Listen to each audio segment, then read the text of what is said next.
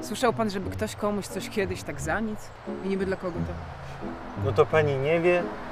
Dla weteranów dobrej zabawy na kluby seniora. I dla amatorów sportów miejskich na skateparki.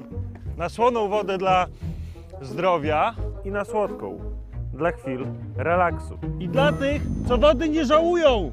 I dla tych z Mazowszem w sercu. i na około tysiąc innych projektów. I to tylko w tym roku.